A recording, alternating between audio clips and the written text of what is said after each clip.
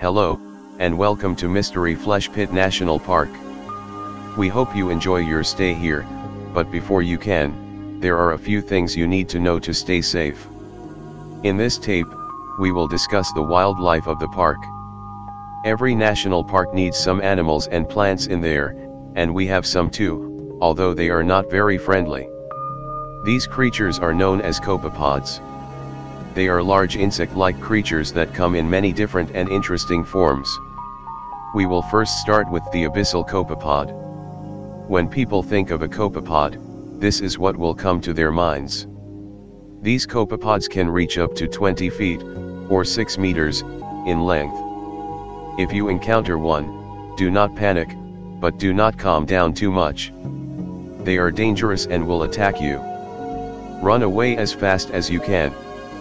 This will be your best course of action, as abyssal copepods are not very fast, and cannot catch up with a running human if they can run at an average speed.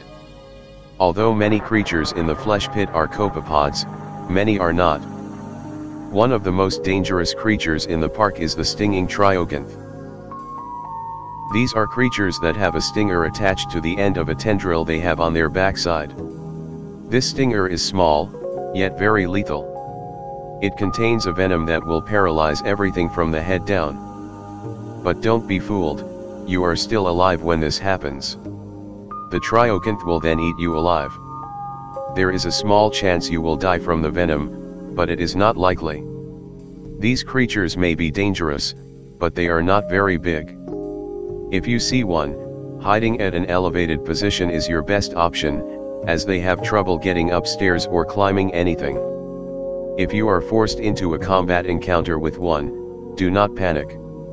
Simply grab the tendril from its back, and throw it away from you. This will scare it, and it will slither away. These two are the only inherently dangerous creatures in the flesh pit, but there is one other creature that is the most interesting. This is the sagacious copepod. They are identical to the abyssal copepod in many ways, but they are much more interesting as they are the only species known to man that is at almost identical levels of intelligence as humans. Sadly, it is difficult for us to study their vast society and intelligence, as they are very hostile to humans by nature. If you are to encounter one, treat it as an abyssal copepod and run away. Viewing of this tape is prohibited. Discard it immediately. Viewing of this tape is prohibited. Discard it immediately. This concludes this tape. Enjoy your stay at Mystery Flesh Pit National Park.